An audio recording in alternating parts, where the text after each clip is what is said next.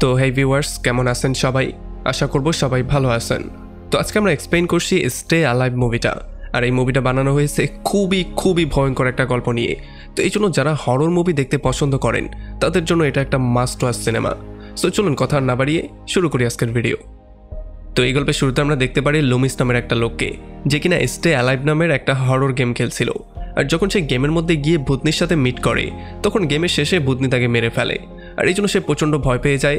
এই জন্য সে তার ফ্রেন্ড হ্যাচকে কল দিয়ে তার রুমে আসতে বলে এই গেমটা খেলার জন্য। তবে যেহেতু হ্যাচ ব্যস্ত ছিল, এই জন্য সে আর আসে না।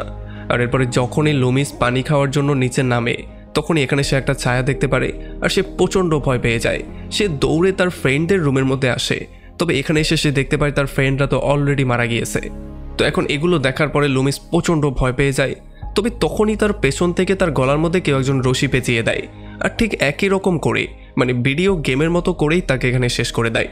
তারপরে পরদিন সকালবেলা যখন হজ অফিসে এসে তার বস মিলারের সাথে কথাবার্তা বলছিল, তখনই সে জানতে পারে তার বন্ধু লুমিসের মৃত্যু হয়ে গেছে। এটার জন্য সে প্রচণ্ড আপসেট হয়ে যায়, কারণ তার বন্ধু কালকেই তাকে গেম খেলার জন্য ডেকেছিল, কিন্তু সে ব্যস্ততার জন্য যেতে পারেনি। এই জন্য সে চলে আসে তার ফিন রেলে এখানে এবিগেল নামের একটা মেয়ের সাথে তার প্রথমবারের মতো মিট হয়। অ্যাবিগেল তাকে তার নাম্বারটা দিয়ে দেয় আর এরপরে হাস চলে আসে তার ফ্রেন্ড অক্টোবরের ঘরে, যে কিনা তার ভাই ফিনিয়াসের সঙ্গে থাকতো। এখানে হজ অক্টোবরকে বলে যে লুমিসার তার দুইটা ফ্রেন্ডের হঠাৎ করেই মৃত্যু হয়ে গেছে। আর তখনই ফিনিস তার ব্যাগটা চেক করে আর এখানে সে স্টে অ্যালাইভ নামের সেই গেমটা পেয়ে যায়। এখন যখন সেই গেমটা সম্পর্কে জিজ্ঞেস করে, তখন হজ বলে যে লুমিস আর তার বন্ধুরা মরার আগে এই গেমটাই খেলছিল। আসলে এই গেমটা এখন পর্যন্ত মার্কেটে আসেনি। কোম্পানির লোকজন তাদেরকে এই গেমটা দিয়েছিল খেলে টেস্ট করার জন্য। এখন যখন ফিনিস এটা শুনতে পারে, তখন সেও গেমটা খেলার জন্য কিউরিয়াস হয়ে যায়, আর এই জন্য সে গেমটা রেখে দেয় খেলে টেস্ট করার জন্য। তো এরপরে সেদিন সন্ধ্যাবেলায় হজের একটা ফ্রেন্ড সুইং অক্টোবর আর ফিনিসিয়াসকে নিয়ে তার বাসায় চলে আসে। এখানে এবিগেলও চলে আসে, এই জন্য হজ এবিগেলকে সবার সাথে মিট করিয়ে দেয়। এখন যেহেতু তাদের মনটা খুবই আপসেট হয়ে আছে, এই জন্য তাদের মনটা হালকা করার জন্য তারা সেই গেমটা খেলার সিদ্ধান্ত নেয়। তারা সবাই মিলে এস্টে অ্যালাইভ গেমটা খেলার প্রিপারেশন নেয়। আর একটু পরে হজের বস মিলারও অনলাইনে তাদের সাথে গেমে জয়েন করে। এখন যখনই তারা গেমটা প্লে করে, তখন প্রথমেই গেমের মধ্যে ভূতনি অ্যালিজাবেদের প্রার্থনাটাকে তাদেরকে পড়তে বলা হয়। কারণ এই প্রার্থনাটা না পড়লে কোনোভাবে গেমটা শুরুও হবে না। আর যখনই তারা সবাই প্রার্থনা পড়ে, তখনই গেমের মধ্য থেকে শব্দ আসা শুরু হয়ে যায় যে, তোমরা বিশাল বড় একটা ভুল করে ফেলেছো। এখন তোমরা মৃত্যুর রাস্তায় বেরিয়ে গেছো। তবে তারা সবাই ব্যাপারটাকে এতটা সিরিয়াসলি নেয় না, আর ব্যাপারটাকে একটা গেমের মতো করেই তারা খেলছিল। এখন খুব জলদি তাদের সামনে একটা ভূত চলে আসে, আর হস একটা ভূতকে মেরেও ফেলে। আর তখন হজ জানতে পারে যে তারা গোলাপ ফুলের মাধ্যমে ভূতগুলোকে মেরে তাদেরকে অন্য জায়গায় পাঠিয়েও দিতে পারে। এরপর তারা সবাই মিলে চলে আসে কবরস্থানের কাছে আর এখানে তাদেরকে ফেস করতে হয় বাচ্চাদের আত্মাগুলোর সাথে। এখানে তারা অনেকগুলো বাচ্চাকে শেষ করে আর তখনই এদিকে যখন মিলার আন্ডারগ্রাউন্ডে ছিল, তখনই ভূত এলিজাবেথ এসে তার গলার মধ্যে ধরে তার গলা কেটে তাকে সেখানে মেরে ফেলে। আর তখনই মিলার বুঝতে পারে যে তার রুমের বাইরে কেউ একজন দৌড়াদৌড়ি করছে। তবে সে এই ব্যাপারটাকে পুরোপুরি ইগনোর করে দেয়। আর এখন যেহেতু রাত অনেক বেশি হয়ে গেছে, এই জন্য তারা সবাই গেমটা বন্ধ করে দিয়ে যার যার মতো যাওয়া শুরু করে। আর যখন মিলার অফিসটা বন্ধ করে সেখান থেকে যাওয়ার ট্রাই করে, তখন অফিসের দরজাটা অটোমেটিকলি খুলে যায়। আর যখন সে দরজাটা বন্ধ করে আবারও আসে, তখনই একটা ছায়া এসে তাকে ঠিক সেই রকম করেই মেরে ফেলে, যেমন করে গেমের মধ্যে তাকে মারা হয়েছিল। আর আমরা জানতে পারি এটার অন্য কেউ না, এটা হচ্ছে গিয়ে সেই ভূতনি এলিজাবেথই। তো এরপরে পরদিন সকালবেলা যখন হজ জানতে পারে যে মিলারের মৃত্যু হয়ে গেছে, তখন সে পুরোপুরি শক্ত হয়ে যায়। তবে একটু পরে জিজ্ঞাসাবাদ করার পরে সে পুলিশকে বলে যে মরার আগে মিলার আমাদের সাথে স্টে অ্যালাইভ গেমটা খেলছিল। এখন এই ব্যাপারটা শোনার পরে পুলিশরাও শক্ত হয়ে যায়। আর তারাও বুঝতে পারছিল না যে মিলারের মৃত্যু কি করে হলো। এখানে তো কেউই ছিল না। কারও থাকার প্রমাণ পর্যন্ত তারা পায়নি। তবে যাই হোক সেই দিন সন্ধ্যাবেলায় ফিনিয়াস আবারও সেই গেমটা খেলা শুরু করে। তবে এইবার এটা দেখার পরে অক্টোবর আর হস তার উপরে প্রচণ্ড রাগ করে, কারণ এখন পর্যন্ত তারা উদ্ধারই করতে পারল না যে মিলারের মৃত্যু কি করে হলো। আসলে এই গেমটাই কি ভয়ঙ্কর গেম কিনা, সেই ব্যাপারটা পর্যন্ত তারা জানে না। তো এরপর তারা দুজন মিলে চলে আসে অ্যাবিগেলের কাছে আর তারা মিলারের মৃত্যু নিয়ে কথাবার্তা বলছিল। এখানে তারা সবাই এই ব্যাপারটা নিয়ে পুরোপুরি শক্ত হয়েছিল যে মিলারের মৃত্যুটা ঠিক তেমন করেই হয়েছে, যেমন করে গেমের মধ্যে তার ক্যারেক্টারের হয়েছিল। আর তখনই হজের এই ব্যাপারটাও মনে পড়ে যায় যে লুমিস আর তার ফ্রেন্ডদের মৃত্যু গেম খেলার পরে হয়েছিল। হয়তো বা এই গেমটাই হচ্ছে গিয়ে ভয়ঙ্কর একটা কিছু। এই জন্য তারা সবাই দৌড়ে আসা শুরু করে ফিনিয়াসের কাছে। কারণ ফিনিয়াসও এখন সেই গেমটা খেলছে। আর এদিকে ফিনিয়াস আয়নার মধ্যে ভূতনি এলিজাবেথকে দেখতে পারে, তবে একটু পরে এই আয়নাটা ভেঙে চুরমার হয়ে যায়। কারণ ভূতনি এলিজাবেথ আয়না একেবারেই পছন্দ করে না। আর এরপর সে গেমের মধ্যে একটা ঘোড়ার গাড়ি দেখতে পারে, যেই গাড়িটা দৌড়ে তার দিকে আসছিল। তবে তখনই সে গেমটা সেখানেই পজ করে দেয়। আর তখন এখানে অক্টোবর হাওয়াজ আর বাকি সবাই চলে আসে। আর তারা সবাই মিলে তাকে বোঝানো শুরু করে যে লুমিস আর তার দুইটা ফ্রেন্ড আর মিলারের মৃত্যু ঠিক তেমন করেই হয়েছে, যেমন করে গেমের মধ্যে তাদের মৃত্যু হয়েছিল। এখন এই ব্যাপারটা কোনোভাবেই কোয়েন্সিডেন্স তো হতে পারে না। এটা নিশ্চয়ই গেমের মধ্যে কোনো একটা কারসাজি। কিন্তু ফিনিয়াস এটা কোনোভাবেই শুনবে না। সে বলে যে এমন কিছু হয়ই না। আর তুমি মিথ্যা বলে আমাদেরকে ভয় পাওয়ানোর ট্রাই করছ। এটা বলে সে বাইরে চলে যায় তার গাড়িটাকে ঠিক করার জন্য। আর যখন সে গাড়ি ঠিক করছিল তখন হজ বাথরুমে গিয়ে সেভ করার ট্রাই করে। তবে তখনই সে দেখতে পারে আয়নার মধ্যে তার চোখগুলো সাদা হয়ে গেছে আর একটু পরে আয়নাটা ভেঙে চুরমারও হয়ে যায়। এতে সে প্রচণ্ড ভয় পেয়ে গেলেও একটু পরে আবার আয়নাটা পুরোপুরি ঠিকও হয়ে যায়। এতে করে সে পুরোপুরি কনফিউজ হয়ে যায় আর প্রচণ্ড ভয়ের মধ্যে চলে যায়। আর এদিকে যখন সুইং পিয়ানো বাজাচ্ছিল, তখন সেই পিয়ানো দিয়ে রক্ত বের হওয়া শুরু হয়ে যায়। আর সেই রক্তগুলো সে তার মুখের মধ্যেও মেখে নেয়। আর যখন সে তার হাতের মধ্যে রক্ত দেখতে পারে, তখন সে পুরোপুরি শক্ত হয়ে যায়। তবে তার রক্তগুলো হঠাৎ করে আবার গায়েবও হয়ে যায়। আর এদিকে অক্টোবরও আয়নার মধ্যে একটা মৃত মেয়েকে দেখতে পারে। আর এদিকে ফিনিয়াসও যখন সেই গাড়িটা ঠিক করছিল, তখন সে একটা ঘোড়ার গাড়ির শব্দ শুনতে পারে। আর যখনই সে পেছন দিয়ে তাকায়, তখনই একটা গাড়ি খুবই স্পিডে তার পাশ দিয়ে চলে যায় আর সে মরতে মরতে বেঁচে যায়। আর এরপর আমরা দেখতে পারি রাতের বেলায় হজ অফিসে গিয়ে লুমিস আর তার ফ্রেন্ডের মৃত্যু সম্পর্কে ডিটেল তথ্য বের করে। তবে যখন সে কাজ করছিল, তখনই আমরা দেখতে পারি তার আশেপাশে একটা মৃত মেয়ে ঘুরছিল। তবে যেহেতু হজ তাকে দেখতে পারে না, তো এই জন্য সে নার্ভাসও হয় না, আর সে তার কাজ শেষ করে সেখান থেকে আবারও বাসায় ব্যাক করে। আর এরপর সে সবার সাথে মিট করে তাদেরকে রিপোর্ট দেখিয়ে বলে যে লুমিস তার ফ্রেন্ডরা আর মিলারের মৃত্যু ঠিক একই রকম করে হয়েছে, যেমন করে গেমের মধ্যে তাদের মৃত্যু হয়েছিল। এখন এই ব্যাপারটা তো কোনোভাবেই কোইন্সিডেন্স হতে পারে না। আর এইবার আমি কিন্তু হাওয়ার মধ্যে কথা বলছি না, এইবার আমার কাছে প্রমাণও আছে। আর এই ব্যাপারটা শোনার পরে অক্টোবরও তার সঙ্গে সম্মতি দেয়। আর সে তাকে এলিজাবেথের গল্প শোনানো শুরু করে, যেটা কিনা সে তার দাদির থেকে শুনেছিল। তার মতে রাজকুমারী এলিজাবেথের গল্প নিয়ে এই গেমটা বানানো হয়েছে। সে বলে যে একটা রাজকুমারী ছিল, যে কিনা দেখতে খুবই সুন্দর ছিল, আর তার সৌন্দর্য নিয়ে সে সবসময় গর্বও করত। কিন্তু তার মনে হতো কখনোই তার সৌন্দর্য যাবে না।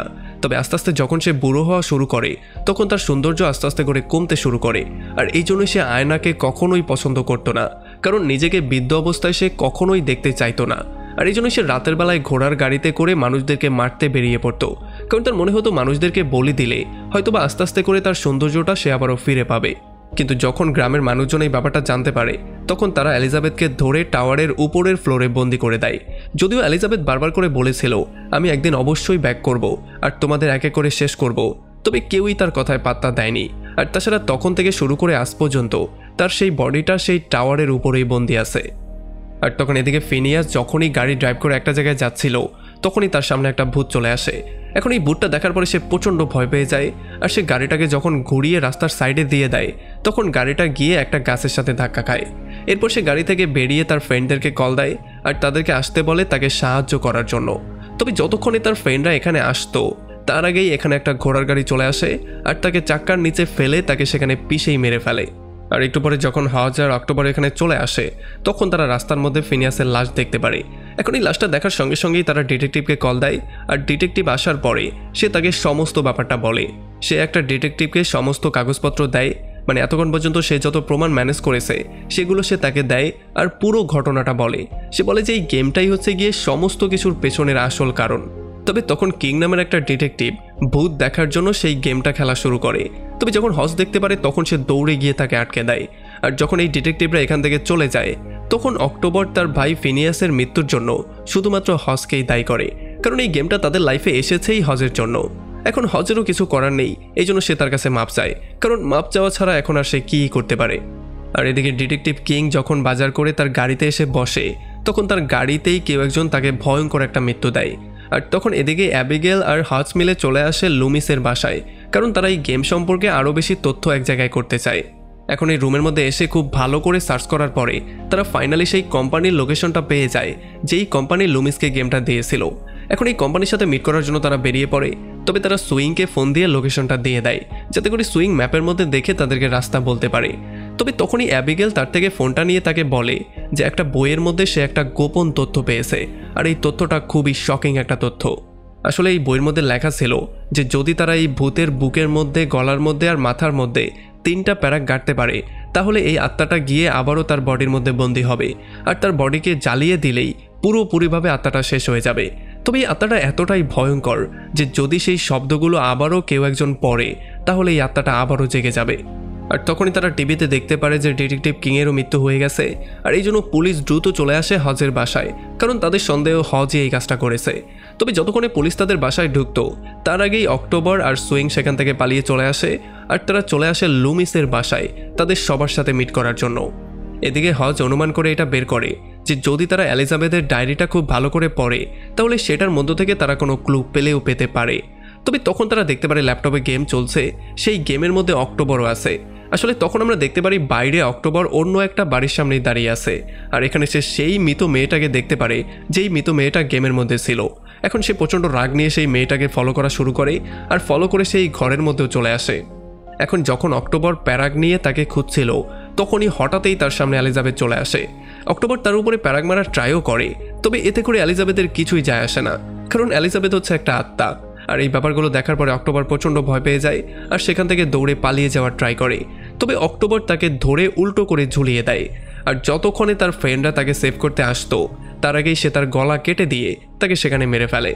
আর যখন এই ব্যাপারটা হাজার সুইং দেখতে পারে, তখন তারা প্রচণ্ড আপসেট হয়ে যায় আর এই সমস্ত কিছুর জন্য নিজেদের দায়ী করা শুরু করে। তারা প্রচণ্ড কান্নাকাটি করা শুরু করে। তবে তখন অ্যাবিগেল তাকে বলে যে, এখন কান্নাকাটি করার সময় না। এখন আমাদের যে কোনো মূল্যে এলিজাবেথকে থামাতে হবে আর নয়তোবা আরও মৃত্যু হবে, এটা নিশ্চিত। তো এরপরে ফাইনালি তারা সেই কোম্পানির লোকেশনে চলেও আসে। আর এখানে আসার সঙ্গে সঙ্গে হজ আর অ্যাবিগেল মধ্যে যায় দেখা করার জন্য। আর বাইরে সুইং দাঁড়িয়ে গেমটা খেলা শুরু করে, যাতে করে সেই অ্যালিজাবেথের মনোযোগটা অন্যদিকে রাখতে পারে। আর একটু পরে সুইং হজকে কল দিয়ে কবরস্থানের লোকেশনটা বলে, আর যখন হজ কবরস্থানে আসে, তখন সে দেখতে পারে তার সামনে সেই টাওয়ারটা আর তখন এদিকে অ্যাবিগেল আস্তে আস্তে করে একটা রুমের মধ্যে চলে আসে, যেখানে অনেকগুলো পুতুল ছিল। এখানে ঠিক অ্যালিজাবেথের মতোই সে একটা পুতুল পেয়ে যায়। আর এই পুতুলটা নিয়ে সে চলে আসে উপরের ফ্লোরে এখানে এসে সে দেখতে পারে এই রুমটা হুবাহু গেমের রুমটার মতো। এখানে অ্যালিজাবেথের কেচি আছে, তার ডায়েরিটা আছে, আর এই ডায়েরির মধ্যে সেই সমস্ত নামগুলোও আছে, যাদেরকে আজ পর্যন্ত সে বলি দিয়েছে। তবে তখনই হঠাৎ করেই তার চারপাশে সমস্ত কিছু অন্ধকার হয়ে যায়, আর এতে করে ভয় পেয়ে অ্যাবিগেল জোরে জোরে চিৎকার করা শুরু করে। আর যখনই হজে চিৎকার শুনতে পারে, তখন সে দৌড়ে চলে আসে সেই রুমের কাছে, আর সে একেবারে অ্যাবিগেলের কাছেই চলে আসে। আর তখন সুইংও গেমের মধ্যে গিয়ে অ্যাবিগেলকে সেভ করার ট্রাই করে। তবে যখনই রুমের মধ্যে অ্যালিজাবেথ অ্যাবিগেলকে মারতে যাচ্ছিল, তখনই সুইং এসে তার উপরে গোলাপ ফুল মেরে দেয়। এই জন্য তারা সেখান থেকে গায়েব হয়ে যায় আর অ্যাবিগেল কোনো রকমে সেভ হয়ে যায়। এখন যেহেতু হজের জন্য অ্যাবিগেলের জীবনটা বেঁচেছে, এই জন্য অ্যাবিগেল প্রচণ্ড আপসেট হয়ে তাকে জড়িয়ে ধরে আর তাকে কিসও করে ফেলে। আর তখনই সুইং হজকে কল দিয়ে কিছু গোলাপ আর কিছু প্যারাক ম্যানেজ করার জন্য বলে। তবে এইটা বলার সঙ্গে সঙ্গে তার গাড়ির দরজাটা অটোমেটিকলি বন্ধ হয়ে যায় আর ভেতরে একটা গেম চলছিল। এটা দেখার পরে সে প্রচণ্ড ভয় পেয়ে যায়, এই জন্য সে গাড়ির গ্লাস ভেঙে মধ্যে গিয়ে গেমটা খেলা শুরু করে। তবে তখন এলিজাবেথ তাকে আসল জীবনেই চারপাশে ঘিরে ফেলে। যদিও সে গেমের মধ্যে মারা যায়নি, তবে এলিজাবেথ গেমের রুল ব্রেক করে তাকে মারতে এসেছে। এটা দেখার পরে সে প্রচণ্ড ভয় পেয়ে গাড়ি থেকে বেরিয়ে পালিয়ে যাওয়া শুরু করে। তবে অ্যালিজাবেথ তাকে বারবার করে ফলো করেই যাচ্ছিল, আর একটা সময় সুইং গিয়ে গোলাপ ফুলের বাগানের মধ্যে পড়ে যায়। আর এদিকে হজার অ্যাবিগেল যখন দৌড়ে কোনো রকমে গাড়ির কাছে আসে, তখন তারা দেখতে পারে গেমের মধ্যে সুইং মারা গিয়েছে। এই জন্য তারা প্রচণ্ড আপসেট হয়ে যায়। তবে তারা কোনো রকমে প্যারাগ আর গোলাপ এক জায়গায় করে দৌড়ে অন্যদিকে যাওয়া শুরু করে। তবে তখন আবার অ্যালিজাবেথ তাদের পেছনে চলে আসে আর তাদেরকে ফলো করা শুরু করে। এটা দেখার পরে হজ অ্যাবিগেলকে একটা রুমের মধ্যে বন্দি করে, সে নিজে গোলাপের সাহায্যে অ্যালিজাবেথকে সেখান থেকে গায়েব করে দেয়। আর এরপরে যখন তারা দুজন মিলে সেই টাওয়ারের কাছে যাওয়ার ট্রাই করে, তখন হঠাৎই একটা দরজা পার হওয়ার সঙ্গে সঙ্গে দরজাটা অটোমেটিকলি বন্ধ হয়ে যায়। এই জন্য হজ এক পাশে আটকা পড়ে যায় আর অ্যাবিগেল অন্য পাশে আটকা পড়ে যায়। এখন যেহেতু তাদের কাছে খুব বেশি একটা সময় নেই, এই জন্য হজ তার কাছে গোলাপটা দিয়ে সে নিজে চলে যায় টাওয়ারের উপরের তলায়। উপরে গিয়ে সে সেই লাশটাকেও পেয়ে যায়, যেটা ছিল আসল অ্যালিজাবেথের লাশ। আর এই লাশের মধ্যে সে প্যারাকগুলো গাড়া শুরু করে। আর অন্যদিকে অ্যালিজাবেথের আত্মাটা অ্যাবিগেলকে উল্টো করে ঝুলিয়ে দিয়েছিল। আর যখনই সে তাকে মারতে যাচ্ছিল, তখনই হজ অ্যালিজাবেথের মাথার মধ্যে শেষ প্যারাকটা পুঁতে দেয়, আর এই জন্য তার আত্মা সেখান থেকে পুরোপুরি গায়েব হয়ে যায়। তবে তখন আমরা দেখতে পারি এলিজাবেথের আসল বডিটাই উঠে যায় মানে সে জীবিত হয়ে যায়। আর এই ব্যাপারটা দেখার পরে হজ দ্রুত তার ল্যাপটপের স্ক্রিনটা তার সামনে ধরে, আর যখনই অ্যালিজাবেথ তার আসল ফেসটা দেখতে পারে, তখন সে প্রচণ্ড রাগের মাথায় চিৎকার করা শুরু করে। আর এই ব্যাপারটা দেখার পরে হজ দ্রুত এই রুমের মধ্যে আগুন ধরিয়ে দেয়, যাতে করে তার লাশটা পুড়ে ছাড়কার হয়ে যায়। যদিও হজ নিজেও আগুনকে প্রচণ্ড ভয় পেত, তবে সে এখান থেকে বেরিয়েও যেতে পারে না, সে এখানেই আটকা পড়ে যায়। আর তখনই শেষ মুহূর্তে এখানে সুইং এসে কোনো রকমে তার লাইফটা সেভ করে। আসলে যেহেতু সুইং গোলাপ ফুলের বাগানের মধ্যে পড়ে গিয়েছিল, এই জন্য অ্যাবিগেল আর তাকে মারেনি। আর এরপর তারা ফাইনালি তিনজন সেখান থেকে বেরিয়ে চলে আসে, আর তারা দূর থেকে দাঁড়িয়ে দেখতে পারে এলিজাবেথের লাশটা তাদের চোখের সামনে পড়ছে। আর এর কয়েকদিন পরে আমরা দেখতে পারি একটা দোকানে স্টে অ্যালাইভ নামের সেই গেমটা চলে আসে, আর এখন এটা পাবলিকালি সেলও হওয়া শুরু হয়। আর যখনই এই দোকানদার অ্যালিজাবেথের সেই প্রার্থনাটা পড়ে, তখনই অ্যালিজাবেথ আবারও জীবিত হয়ে যায়, আর সে আরও একবার মানুষকে মারার জন্য রেডি হয়ে যায়। আর এমন একটা ভয়ঙ্কর পয়েন্টে এই পুরো মুভিটা এখানে শেষ হয়ে যায়। তো আমাকে কমেন্ট করে জানান কেমন লাগল ভিডিও যদি ভালো লাগে তাহলে অবশ্যই একটা লাইক করবেন। আর যদি এখনও আমাদের চ্যানেলটা সাবস্ক্রাইব করে না থাকেন, তাহলে প্লিজ করে ফেলুন।